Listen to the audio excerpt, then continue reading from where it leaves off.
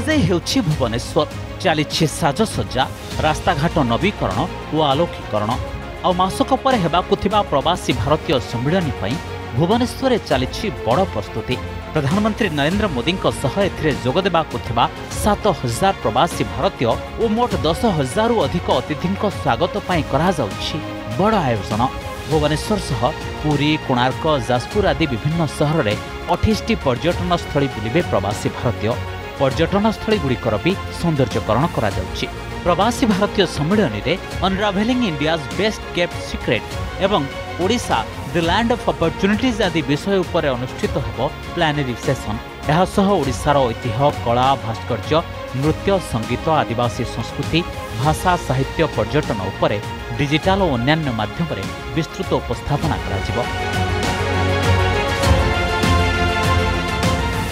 ଦୁଇହଜାର ଛତିଶରେ ବିକଶିତ ଓଡ଼ିଶା ଏବଂ ଦୁଇହଜାର ସଡ଼ଚାଳିଶରେ ବିକଶିତ ଭାରତର ଭିଜନ୍ ବି ପ୍ରଦର୍ଶିତ ହେବ ଏହି ପ୍ରବାସୀ ଭାରତୀୟ ସମ୍ମିଳନୀରେ। ଆମ ରାଜ୍ୟକୁ ଆସୁଥିବା ଏନ୍ଆର୍ଆଇ ମାନେ ଯେଉଁମାନେ ଆମର ବାହାରେ ରହୁଛନ୍ତି ତାଙ୍କୁ ଦେଶର ପ୍ରଧାନମନ୍ତ୍ରୀ ପ୍ରତିବର୍ଷ ଡାକନ୍ତି ଏବଂ ଆମ ଓଡ଼ିଶାର ସୌଭାଗ୍ୟ ଏଥର ଏଇଟା ଭୁବନେଶ୍ୱରରେ ହେବ। ମୁଁ ଭାବୁଛି ନୂଆ ବର୍ଷ ଆମ ପାଇଁ ନୂଆ ଉଦ୍ଦୀପନା ଦେବ। ଯେତେ ଅତିଥି ଆମ ପାଖେ ଆସିବେ ସମସ୍ତେ ପୋର୍ଟାଲରେ ଏମ୍ଇଏ ଯେଉଁ ବୈଦେଶିକ ମନ୍ତ୍ରାଳୟ ଅଛି ତା ପୋର୍ଟାଲରେ ରେଜିଷ୍ଟ୍ରେସନ୍ କରୁଛନ୍ତି ଓଡ଼ିଶାର ପର୍ଯ୍ୟଟନ ବିଭାଗ ରହିବାର ବ୍ୟବସ୍ଥାକୁ ପୁରା ଦେଖୁଛି। ଫେଷ୍ଟିଭାଲ ଭଳି ଯେମିତି ପ୍ରତ୍ୟେକ ଗ୍ରୁପର ଲୋକ ପ୍ରତ୍ୟେକ ବ୍ୟକ୍ତି ଭୁବନେଶ୍ୱରର ସେଲିବ୍ରେଟ୍ କରିବେ ସେଥିପାଇଁ କିଛି ବ୍ୟବସ୍ଥା କରାଯାଇଛି ଯେମିତି ସିଟି ଆକ୍ଟିଭେସନ୍ କାର୍ଯ୍ୟକ୍ରମ ଯେଉଁଥିରେ କି ସ୍କୁଲରୁ ଆରମ୍ଭ ହେବ ପ୍ରତ୍ୟେକ ଷ୍ଟୁଡେଣ୍ଟ ସ୍କୁଲର ଯେମିତି ଇନଭଲ୍ଭ ହେବେ ବିଭିନ୍ନ ପ୍ରୋଗ୍ରାମରେ ସେମାନଙ୍କୁ ବି ଲାଗିବ ଯେ ସିଟିରେ କିଛି ଗୋଟେ ହେଉଛି। ଏବଂ ତା ସହିତ ସହରକୁ ସ୍ୱଚ୍ଛ ସୁନ୍ଦର କରିବା ପାଇଁ ସମସ୍ତ ବ୍ୟବସ୍ଥା କରାଯାଉଛି। ଗୋଟେ ନୂଆ ଲୁକ୍ ଦେବା ପାଇଁ ମଧ୍ୟ ଚେଷ୍ଟା କରାଯାଉଛି। ପ୍ରବାସୀ ଭାରତୀୟ ସମ୍ମିଳନୀ ପ୍ରସ୍ତୁତିର ସମୀକ୍ଷା କରିଛନ୍ତି ମୁଖ୍ୟମନ୍ତ୍ରୀ। ରାଜଧାନୀକୁ ସ୍ୱଚ୍ଛ ସୁନ୍ଦର ଓ ଆକର୍ଷଣୀୟ କରି ସଜାଇବା ଏବଂ ସହରବାସୀଙ୍କ ସହଭାଗିତାରେ ପ୍ରସ୍ତୁତି କାମ କରିବାକୁ ଦେଇଛନ୍ତି ପରାମର୍ଶ। ଅତିଥିଙ୍କ ପାଇଁ ସଇଁତିରିଶ ଶହରୁ ଅଧିକ ରୁମ୍ ବୁକ୍ ହୋଇଛି। କେତେକ ସ୍ଥାନରେ ହୋମ୍ଷ୍ଟେର ବ୍ୟବସ୍ଥା ବି କରାଯାଇଛି। ପ୍ରବାସୀ ଭାରତୀୟ ସମ୍ମିଳନୀ ସମୟରେ ଭୁବନେଶ୍ୱରରେ ଆୟୋଜିତ ହେବ ଦଶଟି ଉତ୍ସବ। ସରକାରଙ୍କ ଆୟୋଜନକୁ ପ୍ରଶଂସା କରିଛନ୍ତି ବ୍ୟବସାୟୀ ଓ ଅର୍ଥନୀତିଜ୍ଞ। କହିଛନ୍ତି ବିଜେପି ସରକାରଙ୍କ ଦ୍ୱାରା ରାଜ୍ୟରେ ଆୟୋଜିତ ଏଭଳି କାର୍ଯ୍ୟକ୍ରମ ପର୍ଯ୍ୟଟନ ଓ ବ୍ୟାବସାୟିକ ଅଭିବୃଦ୍ଧି କରିବା ସହ ଅର୍ଥନୀତିକୁ ଆଗକୁ ନେବ।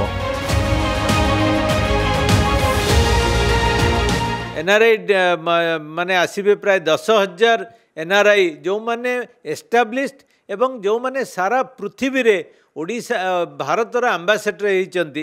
ଯାହାଦ୍ୱାରା ଓଡ଼ିଶାକୁ ଲୋକମାନେ ଆଉ ଗୋଟେ ଅନୋନ୍ ଜାଗା ବୋଲି ଭାବିବେ ନାହିଁ। ଏବଂ ଯେଉଁ ଓଡ଼ିଶା ସରକାରଙ୍କର ଇଚ୍ଛା ଯେ ଓଡ଼ିଶାକୁ ଶିଳ୍ପାୟନ କରିବା ପାଇଁ ସମଗ୍ର ପ୍ରକାର ଚେଷ୍ଟା ଚଲେଇଛନ୍ତି ଏବଂ ସେଇଟା ଯୋଗୁଁ କେବଳ ପ୍ରବାସୀ ଭାରତୀୟ ନୁହେଁ ସାରା ପୃଥିବୀର ଯେଉଁମାନେ ପୁଞ୍ଜିନିବେଶକାରୀ ଅଛନ୍ତି ଇନଭେଷ୍ଟର ଅଛନ୍ତି ଇଣ୍ଡଷ୍ଟ୍ରିଆଲିଷ୍ଟ ଅଛନ୍ତି ସମସ୍ତେ ଓଡ଼ିଶାକୁ ଆସିବାକୁ ନିଶ୍ଚୟ ଚେଷ୍ଟା କରିବେ। ଆଗକୁ ପ୍ରବାସୀ ଭାରତୀୟ ମିଲନର ଯେଉଁ ପ୍ରୋଗ୍ରାମ୍ସ ଅଛି ଜାନୁଆରୀ ଫାର୍ଷ୍ଟ ୱିକ୍ସରେ ଯେଉଁଥିରେ କି ନୋ ଡାଉଟ୍ ଟୁରିଜିମ୍ର ତ ବହୁତ ଭଲ ପୋଟେନ୍ସି ନେଇକି ଆଗକୁ ବଢ଼ୁଛି। ରୁମ୍ ଅକୁପେନ୍ସି ବି ବର୍ତ୍ତମାନ ବଢ଼ୁଛି। ବହୁତ ସାରା ଗେଷ୍ଟଙ୍କର ମୁଭମେଣ୍ଟସ୍ ରହୁଛି ଏବଂ ଇଣ୍ଟରନ୍ୟାସନାଲ୍ ଫୋରମ୍ରେ ଓଡ଼ିଶା ଟୁରିଜିମ୍ ଗୋଟେ ଭଲ ହାଇଟ୍କୁ ଟଚ୍ କରିପାରୁଛି। ଦୁଇହଜାର ତିନି ମସିହାରୁ ଆରମ୍ଭ ହୋଇଥିବା ପ୍ରବାସୀ ଭାରତୀୟ ସମ୍ମିଳନୀ ପ୍ରଥମ ଥର ପାଇଁ ଓଡ଼ିଶାରେ ଆସନ୍ତା ଜାନୁଆରୀ ଆଠରୁ ଦଶ ତାରିଖ ଯାଏଁ ଅନୁଷ୍ଠିତ ହେବ।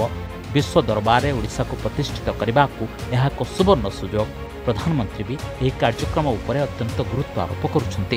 ଭୁବନେଶ୍ୱର କ୍ୟାମେରା ପର୍ସନ ଦୀପକ ସାହୁଙ୍କ ସହ ଚିନ୍ମୟୀ ସାହୁ ଓ ସନ୍ତୋଷ ଜେନାଙ୍କ ରିପୋର୍ଟ ଅର୍ଗସ୍ ନ୍ୟୁଜ୍ जदि आपण को आम भिडी भल लगा तेब आम चेल्क लाइक सेयार और सब्सक्राइब करने को जमा भी बुलां नहीं।